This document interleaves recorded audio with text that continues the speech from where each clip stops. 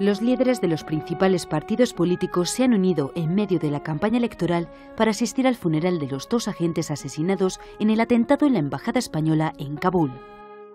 Una ceremonia religiosa presidida por los reyes en el complejo policial de Canillas.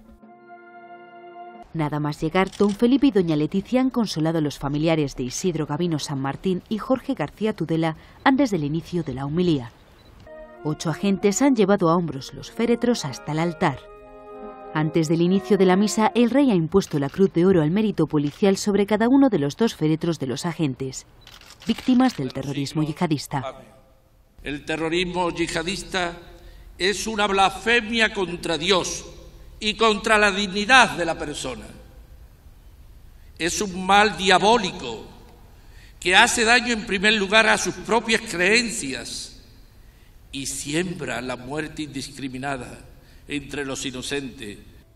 Coronas de flores en las que rezaban mensajes a sus compañeros fallecidos el pasado viernes en la Embajada Española de Kabul cuando se produjo el atentado talibán.